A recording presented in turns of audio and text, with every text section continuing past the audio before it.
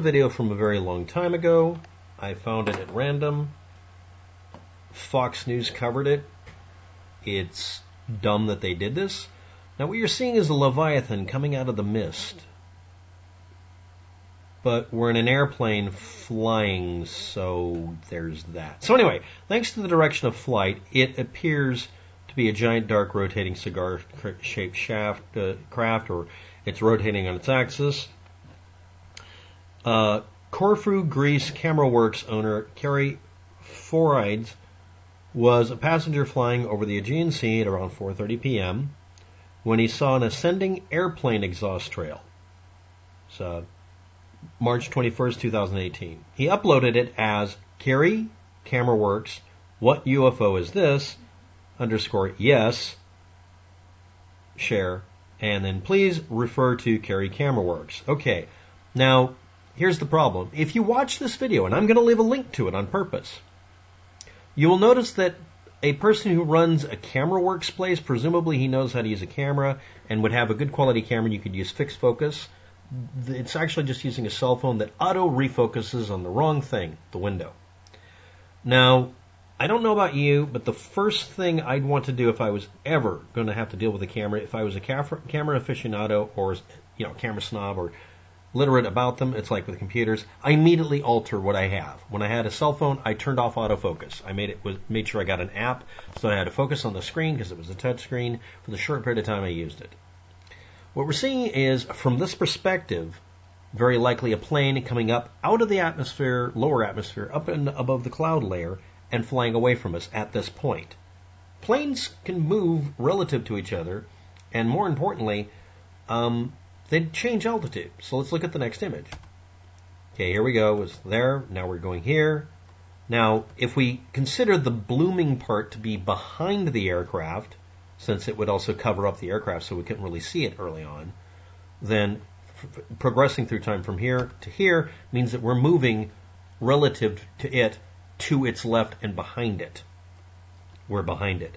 You notice the part of the aircraft directly in front of you. And there it is, like a leviathan. It's turning around, or it's it's it looks like it's tilting, but it's literally just us flying past it. Right now, we're lined up with it at 4:30 p.m. You know, Greek time. Now, this is when the person who's using the camera phone zoomed in. Okay? They didn't say hit the don't change your focus, you piece of junk button. I want you to look at the edge or the forward edge of the plane right here. Just, it's right here. That's the forward edge of the plane wing. Presumably. I mean, I could be totally wrong here. Now, let's go forward a little bit. We're still looking over the wing. Now we're getting more and more straight lined with it. And now we see this. Obviously, it's not a solid object. It is a vapor trail, or more accurately, a smoke trail. They probably had an engine that was running too rich or it wasn't getting enough oxygen intake through one engine, it looks like. But it could be anything. And we notice how the zoom in is very carefully, you know, I'm taking images here that aren't blurry. It constantly goes in and out. Someone gets in front of the camera, you know, people are crowded on an airplane, that sort of thing. And there's our trail. And that shows you how far away that freaking airplane has to be. Practically skywriting.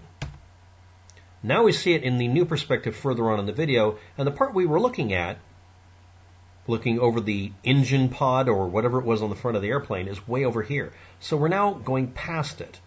It's not going parallel or following each other. Well, they're kind of going parallel. You notice the trail has, you know, broken up over a distance. Or, more accurately, we're going into a slow turn because look at the extreme background here. Okay, we're not seeing a lot of changes, but the cloud cover change is changing. It's very fluffy in the background, broken up.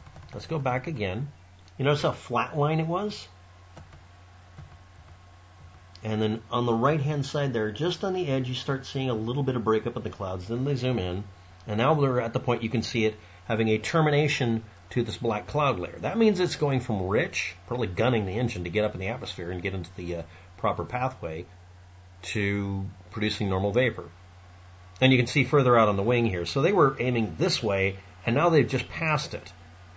meaning they were looking up this way, almost parallel with the airplane through the glass, which is probably the reason it was badly focusing. We're going faster than it because it's doing an inefficient, high altitude, I mean, high gain or high angle flight up to get above the, pl- the clouds so they can do a visual only fly so they don't run into a mountain or something because there's a lot of mountains out there.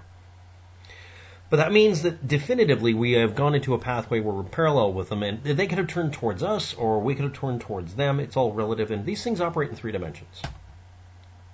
And now we're pointing down at the body of where the part of the plane again. No step on snake. And then we get a zoom out where we see context. The person pulled away from the window, then you can see how hard they had to be putting the camera right here and looking straight out through the glass at an angle. That's an unusually clean window. And that's the video. And during this entire time, a person who at least is supposed to be cognizant of how cameras work, apparently it's him recording it, did not force it into autofocus off so we could get something real. And the forced perspective effect of that means that this was very much forward of them when they first started it. So it went from this nearly forward of them, fairly close, to them flying over the pathway and going around and curving into the same pathway, which means they were on the same, uh, well, air pathway. They were flying the same skies. They were going, see how harsh the angle is? But for all the zoom in and out and blurring and the bad focus, you can't tell.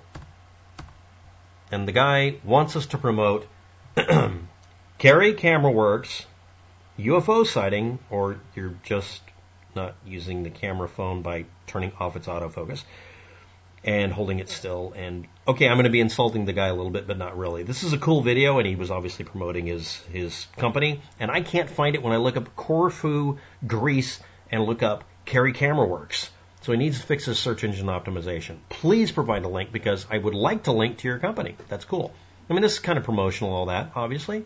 But really, this is a camera guy who can't force the cell phone to not autofocus and screw up a perfectly good video, which means which means even a camera expert can't make a cell phone video not suck.